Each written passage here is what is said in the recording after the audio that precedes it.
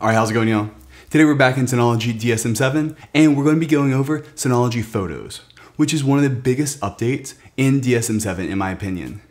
Synology Photos is finally taking basically the good parts of moments and the good parts of photos from DSM6 and combining them into one app that in my experience has been really awesome and above all else amazingly fast which is critical whenever you've got a photos application like this.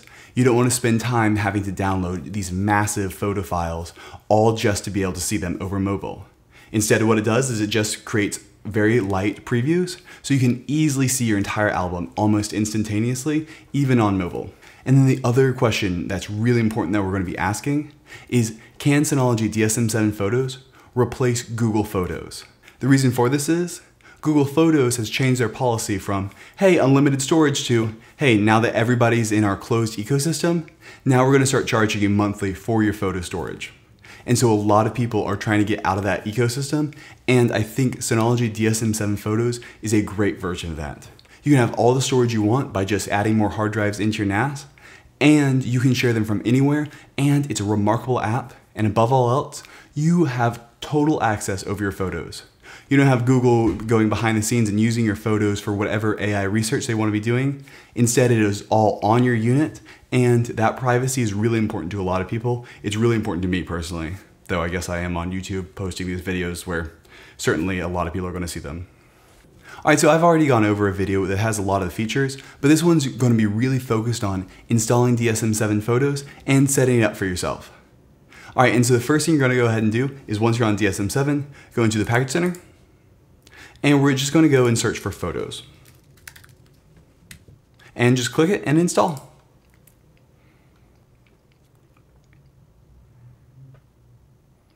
All right, and so while this is installing, I wanna talk about one of the really key benefits to DSM-7 Photos and just to a self-hosted Photos app like this. It's really the fact that you have total flexibility over it. And more importantly, it's incredibly easy to get out of the ecosystem should you not like its capabilities and should something better come along. Currently, to download your photos from Google Photo, they make you go through this terrible process where you have to download these massive zip files and they just make it incredibly difficult for you because they don't want you to leave. They have made this very difficult to leave on purpose. And so the exact opposite of that is DSM-7 photos. I'm a photographer, so I get to keep my exact photo structure as I like it. Essentially what DSM-7 Photo becomes for me is a portal to access my photos, not the storage backend, though you can also use it as the storage backend. And so all I have to do is drag photos into my home slash photos folder, and they will automatically show up in here. And so what that means is, should down the line I find something better than Synology Photos, I can just go keep that exact photo structure and put it in whatever other application you need. That is one of the real advantages to this, is because it's not this proprietary ecosystem. Instead, you've got your Synology, and really all it's doing is reading the photos. You can add simple things like tags and delete them, but really it's a read-only thing, which I think is really important. The one annoying thing is you still can't specify any folder on your NAS to use as the photos folder. You have to use their predetermined one, but I'll go ahead and show that now. So now it's gone ahead and installed, so we're just gonna go ahead and click open. And so it's going to take you through a nice welcome menu and it basically gives you an overview and you can see the interface is honestly really clean. Then on the third step right here, it's got a option to enable the people album in my personal space. And so what this is, is facial recognition. Note, facial recognition is limited only to some of the more powerful units. I believe there are certain J models that do not have this, even though those same J models might have had facial recognition in DSM-6. So that is one thing to look out for, and it is one thing that's rubbed some people the wrong way. But if you have a more upgraded unit, you almost certainly have this. That is just one thing to know. Another thing is, it is not Google Photos level. The reason Google Photos has amazing facial recognition, probably the best out there, is due to the fact that they are using all of their users' data to train this AI. And so because of that, it's really good you are going to get a decent AI here that finds most faces and does a pretty good job with it, but it's not going to be the Google Photos level where it's got this awesome algorithm. You just are not going to have that on a self-hosted system because they just don't have the training data, but the advantage of it is your photos don't become training data for Google's AI. And so now we're just going to go ahead and click start now. No, they've got some amazing applications for both iOS and Android. They are honestly like Google Apple level polish. I've been really impressed. They've done a huge revamp here. And on my last video on DSM-7 photos, I show it. It's remarkable. And I'm actually planning on switching to this. And I might even update to DSM-7 early. It's in release candidate now, so it's a lot better just to be able to start doing this and really getting all my Lightroom exports in a great clean file structure. And so here we've got a few different options for how to store photos. And so one thing you also might notice is if you don't have home folders enabled already, you might get a notification of, hey, you need to enable home folders to get this set up. Home folders are essentially a folder, and I'll go ahead and show them now, where if you go into File Station, you look right here, you can see that if you're an admin, you should see this Homes. So Homes is essentially a different home folder for every single user. And so every single user will also have their own home folder. And so admins get to see everything on the NAS, and that's why they get to see homes and all the homes, but regular users will only see their home directory, which is where you store your photos. And so right here in the aptly named folder Photos, you can double click on it, and this is where you can start adding photos. This is actually from when I was testing out earlier. I'm gonna go ahead and delete these to show you how great this is.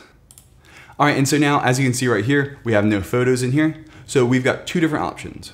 We either drag and drop here or add photos there. Or if you're like me and you wanna keep your exact photo structure, we'll go ahead and go back into folders and we'll just copy in our other photos. So I've already set some up in here and we'll go ahead and just copy those over. We'll just move them into the home slash photos file. And so as you can see, I'm keeping my exact file structure. And so now they're just in the home photos folder. And so now if we go back in, hit the refresh button, which happens to be right there, you can see all of the photos have loaded in incredibly quickly. Let's even check out the CPU usage right now. They have just gone in super quickly and already made some beautiful previews, which I am really impressed by. We have ultra low CPU usage right now, which is quite surprising considering how these are massive DSLR files. And the CPU is not missing a beat. If we go ahead and click on it, you can see how quickly we run through files. Even though these are massive files, we can check them out here. These are all 8 megapixel, 1.2 megabyte files, which are quite large to be able to do this with. It is amazing how well this works, and you can just absolutely fly through the files almost instantaneously. All right, and so now for people who are interested, I'm gonna drag and drop a few files directly in here, directly from my computer. The reason for this is for photographers, it's really important to keep your folder structure the way you like it, just in case you wanna walk away. So now we're just gonna drag and drop some files in here, and we're gonna see the default way that Synology manages the photo structure for files that are directly uploaded. All right, so as you can see, they very quickly got uploaded and are already in access here. And this all uses dates to find them. And so it immediately is able to find them and it even checks for duplicates. All right, and so now let's go back and let's see what that photo structure is now. And you can see as it was importing them, the CPU did spike, but it incredibly quickly went down. I've got a very powerful CPU in this DS1621 Plus compared to other NAS units, so it handled it with ease. Now we go back into File Station, Home, Photos. We'll see that there's this photo library, and it does the thing right and it uses the date format to store these photos. This is how I personally store all my photos and it is great. It is the format of year, month, and then all the images in there. And that is just such a great thing because that way you don't have this unorganized massive album of files that you just have to sort through. It uses the metadata of the images to figure out when they were taken and that is great. That means that should you not like Synology's photo services down the line, being able to import this into any other photo application that does this should be a breeze because they're already in a great folder structure. So now they're back in here and we can see them and there's just so much stuff. So now let's say I wanna share some photos with my friends. Say I wanna show Katie this file. It's simply just hit share. And if you've got external access to your NAS, you can just do this and you've got options. You can invite specific users. I don't have a group set up for this, but you've got very nice and easy options here for what kind of permissions you like, as well as the fact that you can send it to, okay, you need to be able to have invitees only and only be able to use people in this group. So you can say administrators have access to this and be able to share it with them like that. Then you can also use DDNS or Quick Connect. Quick Connect's probably easier, but I've not got it set up on this unit. And you'll be able to have it shared external to your network. There's a lot of great options here, and on mobile, it runs really well, which is incredibly important in my opinion. So we'll just cancel that, and we'll show you some other options. So we've also got the basic zoom, and you can go through, and you can see that these are full-size images in the back side in case you need them. And then what's also awesome, especially for photographers, is the metadata in here. So it supports the tags from Lightroom keywords, and it also pulls the metadata from the actual image. And so it gives you all the values that were used with this lens. So it's got the basic, hey, what camera it was taken with, the f-stop, the shutter speed, the focal length, and the ISO. And then in more, it's got everything you could possibly need in here. It is incredibly impressive how much data they've put in here. And they've basically just dumped the entire EXIF data structure right here so you can see everything you need. It is great to be able to see whatever metadata you have in this image is probably ending up right here. It's also got geolocation and it's also got the ability to edit tags and add a description there. It is really great and easy to use. Then we can exit out of it. And so now we can create albums. It's got people tagged it did a pretty easy job. So let's just say, who is this? We'll say Will. And then we'll say Will. And it auto completes there, which is awesome. And so now it's going to merge them together. And that's Katie.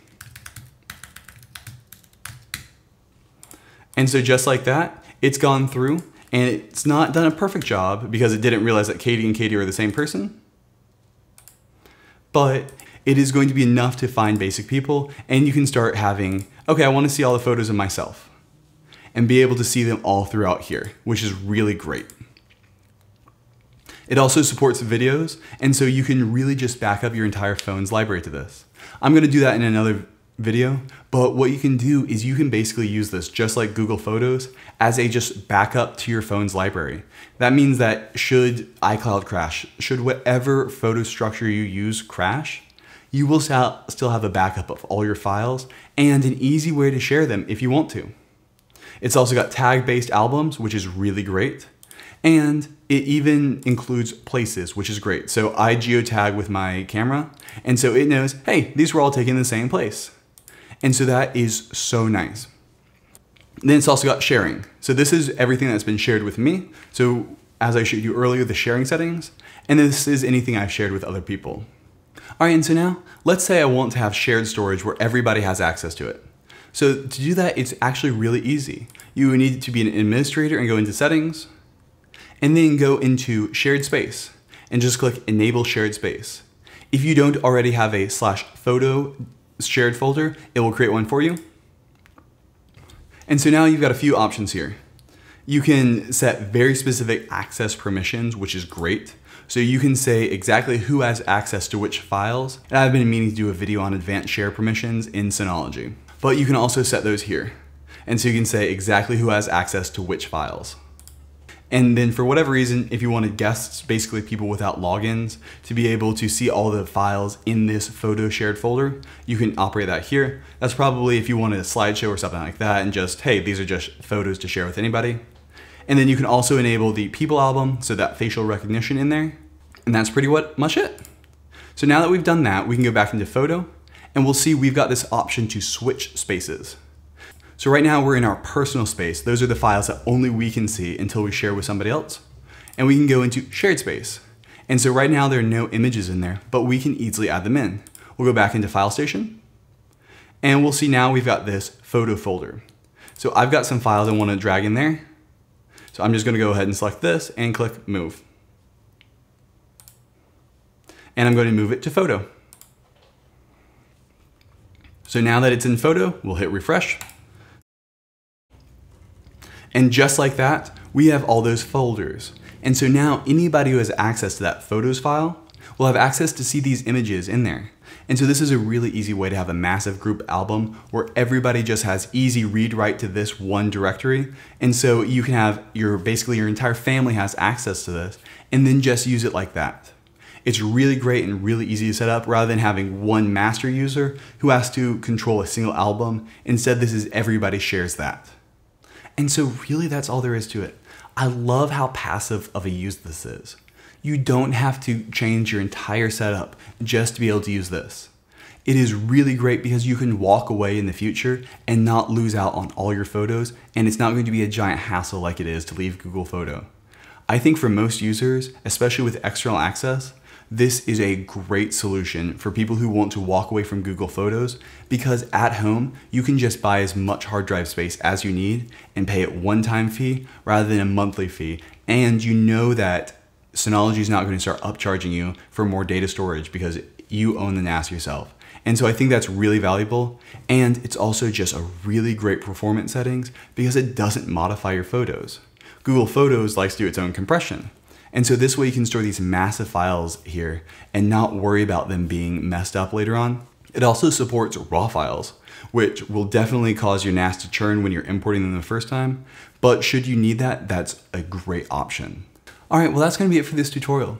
Go ahead, leave any of the tutorials you'd like to see me make in the comments below.